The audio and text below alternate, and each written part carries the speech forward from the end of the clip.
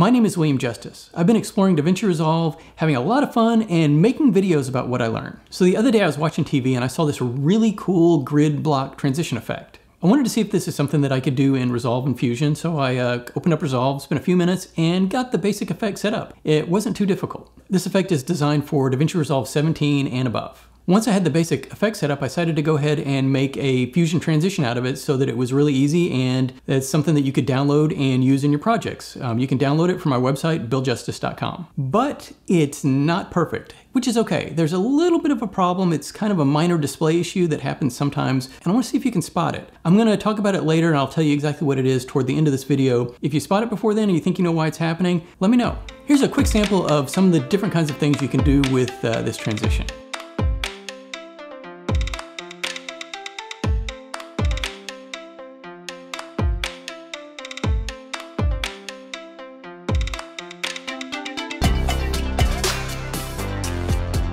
After I show you how to use and customize the effect, I'll show you how to download and install it to, into Resolve so you can use it in your projects. And then we're gonna jump into Fusion. I'm gonna show you the basics of how the effect is set up and how it works. If you enjoy my videos and want to learn more about DaVinci Resolve, video editing, or effects, subscribe to my channel. Make sure you like this video, and if you have any comments or questions, uh, just let me know down below. I'd love to hear from you. Okay, so let's take a look at the transition and how to customize it. So let's click on Effects Library and Video Transitions. We can scroll down. You'll see just Grid Transition. You can also click the uh, search icon up here and type it in. It'll find it for you. Let's take it and drag it right in between those two clips. Let's see what we get by default. To customize it, we click on the transition here in the timeline and take a look in the inspector. So the first thing you'll see is we have uh, versions. So there's six versions or presets up here. Um, these are six different effects you can quickly use. Let me show you what each of those looks like and then we'll go through the configuration options.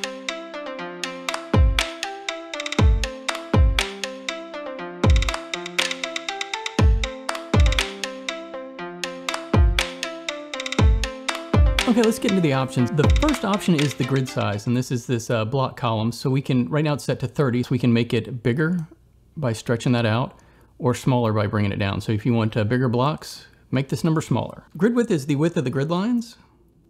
Grid alpha is how transparent they are. So if you want them completely solid, you can bring that up. If you don't want to see the grid at all, you can take the grid alpha and bring it all the way down. Then you'll notice that as we, this transition goes, the blocks are kind of fading in.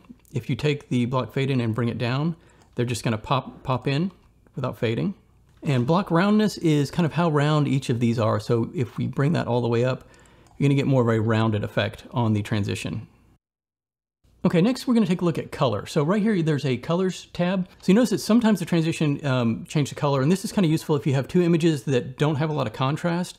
Sometimes it's hard to see where the blocks are coming in. Adding some color kind of gives it a nice effect. So let's click colors. You can ch change the color of the grid. So if we wanted the grid to be black, we can change that really any color you want. We can change the color of each of the images. So right now it's we got blue and red, but you're not seeing it and that's because color alpha is zero. So if we bring color alpha all the way up, you'll see that they're gonna go um, to full color.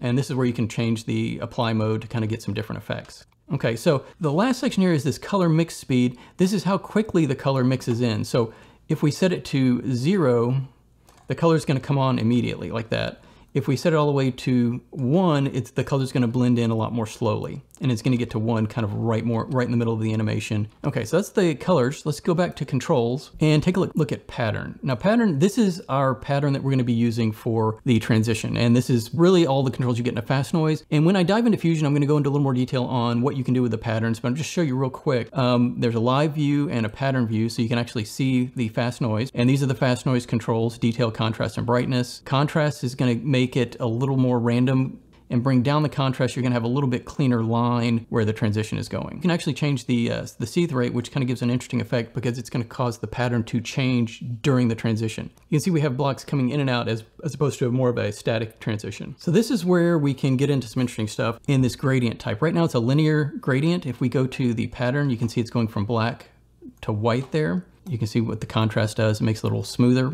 If you wanted this to go in a different direction, all you need to do is change the gradient. So let's go over to here and enable the fusion overlay and you'll see we have this line here. We can take this and move the line around if we want it to go top to bottom. We take the top of the line, the top point and bring it up and the bottom point and bring it down. And we've effectively changed the transition to go down now. So with the gradient type, we can actually change the pattern. So if we wanted the uni, that's just gonna be a random pattern. Okay, so in the transform area, we could use this transform to animate some things and kind of move the grid around or even adjust the size and have it animate in and out and adjust the angle or potentially the aspect. So this just kind of allows you to get some different looks.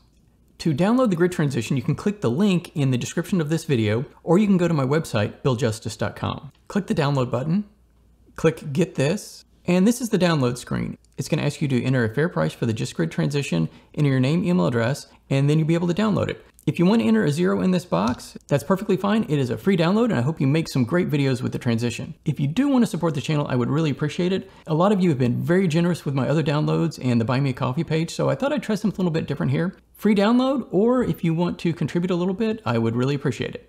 Once, once you've entered the uh, price, your name and email address, go ahead and click pay, and then you can download it. You're gonna get a zip file with the transition. To get this installed, open up this zip file and copy the files into a specific location in Resolve. We have our zip file open. Let's go into the Just Grid transition. Let's copy this into Resolve. Click Fusion, Effects Library, Edit Templates, choose Transitions, click these three dots, and then Show Folder. Copy the Just JustGrid transition.setting into the Edit Transitions folder. Okay, let me show you how I set up the grid transition. We're gonna talk a little bit about how to customize it, and then I'm gonna show you how to set up the dynamic grid with a few expressions. We're gonna talk about the magic of the dissolve node combined with a little bit of fast noise. Okay, let's start creating this effect. We're gonna take uh, our first video and drag it into the node area, and second video and drag it into the node area. The first video is kind of a, a, water scene during the day. Second video is kind of a sunset. So what we're gonna do is transition between the day scene to the sunset scene. To do that, we're gonna use a dissolve node. So with media in one selected, hit control space and search for dissolve. Then we're gonna take media in two and put it into the foreground of the dissolve. And we'll hit uh, select dissolve and hit two on the keyboard so we can see it. What the dissolve does is it allows us to transition between these two inputs. So right now it's showing the foreground. And if we slide this back, it's gonna show the background. So this allows us to transition between these two images. The dissolve has several different modes. There's a random dissolve that kind of has a noise looking thing a lot of different stuff in here, but we're gonna use the gradient wipe. So for the gradient wipe to work, we need a map input. And really the map is just a black and white image that tells the dissolve when to transition different parts of the image. So let's get a background in here. We're gonna start simple. Take the background and connect it up to the map. The background right now, let's put it in the viewer, is solid black.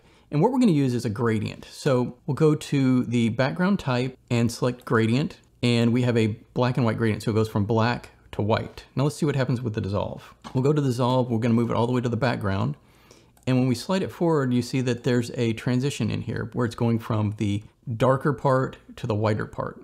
The darker part of the image is gonna transition first and the whiter part is gonna transition last. And we're gonna adjust our gradient. So let's grab this point here and we're gonna drag it up. And we're gonna drag this point here and drag it down. So what we're doing is we're changing the way our gradient works. So our gradient's gonna kind of come from the top and go down to the bottom a little bit. And you notice on the dissolve, the wipe is changing. It's going from the top down to the bottom, just matching our gradient right there. Okay, so how can we get the blocky look? To do that, we're gonna use the mosaic blur. It's really simple to do. With background one selected, hit control space and search for mosaic blur and add that in. And in the inspector, we're gonna change the pixel frequency, bring that down. Um, let's put mosaic blur in the viewer right here. We'll hit one. And you can already start to see the little uh, blocks that it's creating.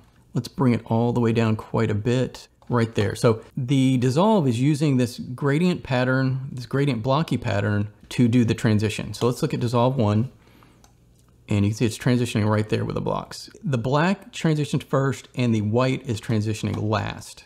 So those blocks are interesting, but I wanted something a little more random that we could do a bit more with. Okay, so let's get rid of this background. We're gonna make something a little more interesting. We're gonna use a fast noise. We're gonna take the fast noise and put it into the mosaic blur. And this is gonna help us create more of a random pattern. So with fast noise selected, you can play with all of these options, but we're gonna crank up the contrast, which is gonna make the more of a difference between the light and dark. Actually, let's uh, make this black so it's a little bit easier to see. We're gonna take the alpha and bring it all the way up. So we have our dark spots and then our white spots. And let's just see what happens without making any changes here.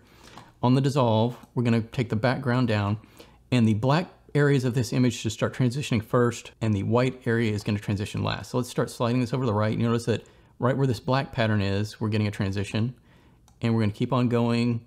We're into the grayscale now And the last part that transitions is this white part here. So what we've done is created a block transition that follows our mosaic blur. So if we want more blocks, we just go to the mosaic blur and bump up the pixel frequency.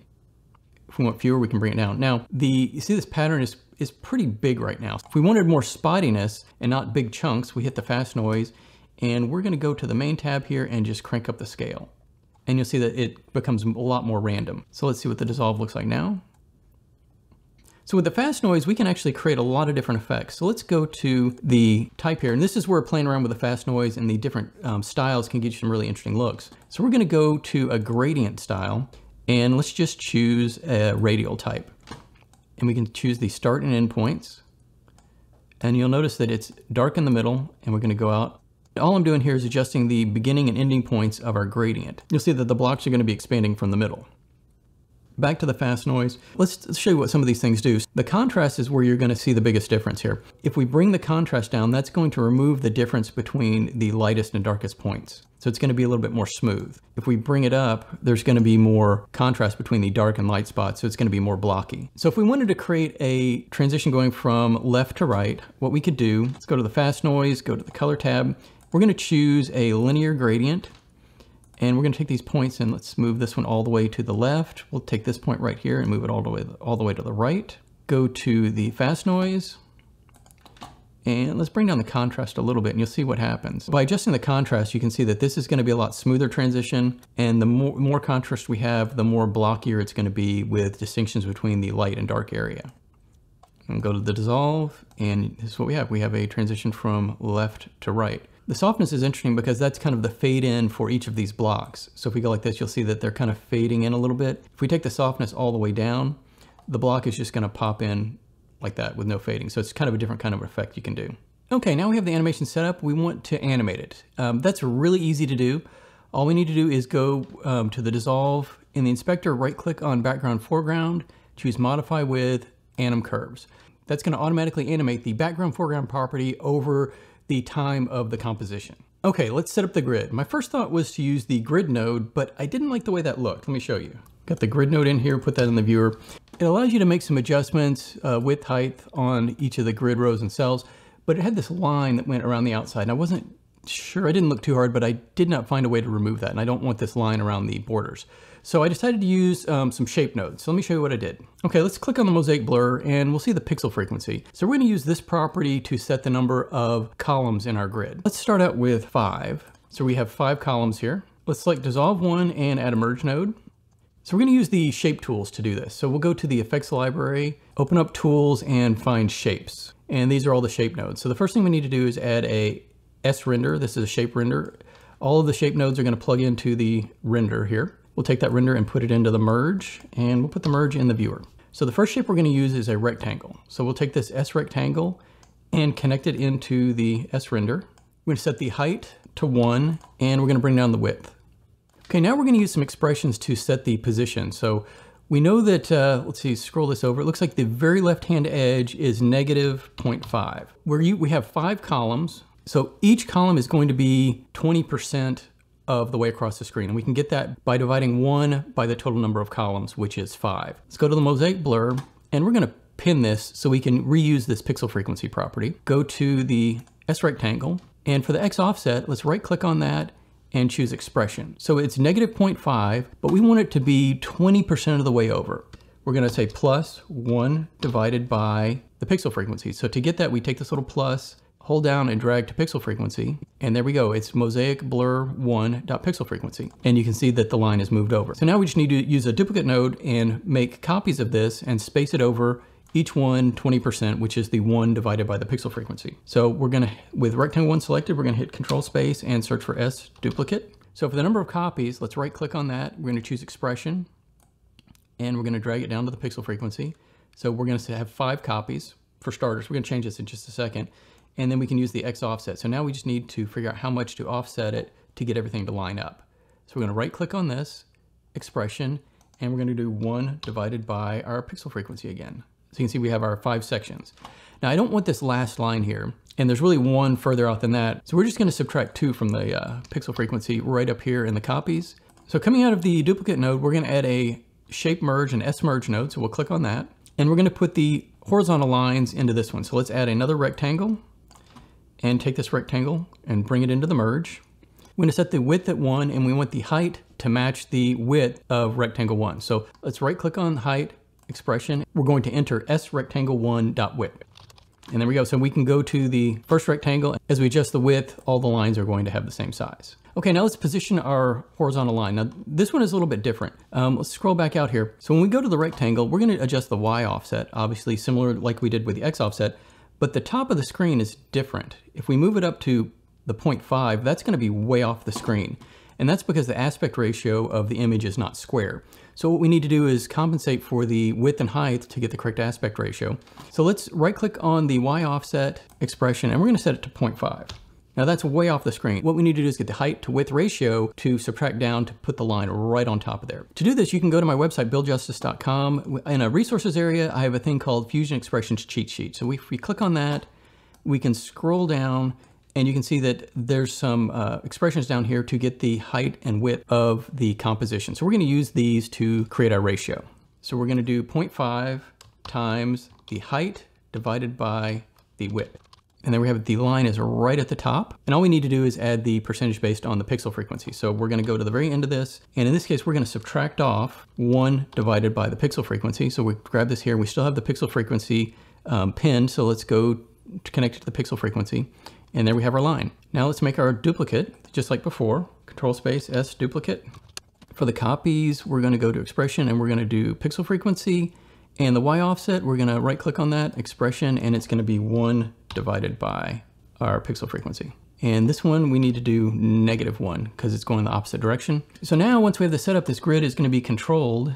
It's gonna be controlled by the mosaic blur. So we can go to the pixel frequency and as we bump that up, you can see our grid is gonna get bigger and smaller. So let's set it at like uh, 20 for now and make it a little bit smaller. Now obviously we could take this grid and we could colorize it and do all kinds of things. We could use this uh, merge here to fade it out a bit. Um, lots of different things you can do. So I want to show you here the problem that I encountered um, and see if you guys figured it out before we got this far from some of the examples. Let's go into the mosaic blur and we're going to change our pixel frequency. Let's make it like uh, 30. Okay, you see everything everything lines up. The grid is lining up with the mosaic with the mosaic blur, but let's set it to like 29. And there's the problem. The mosaic blur is not matching up with the grid. And it's, it kind of jumps around. So if you do 26, you can see that this one is just slightly off there. Um, anyway, that's the problem. So if you guys know what that might be, I kind of have some ideas. I didn't really dig into it a whole lot, but I thought it was kind of interesting, let me know. So that's the basic grid setup along with the grid transition using the mosaic blur along with fast noise. Okay, thanks for watching. Um, I hope you enjoyed the video, maybe learned a little bit from Fusion, or maybe this is an effect that you can use in your videos. Um, I really appreciate everyone's support. If you enjoy my videos and want to learn more about DaVinci Resolve and see what I have coming up next, make sure you subscribe to this channel, like this video, and comment below to let me know how I'm doing. Thanks for watching.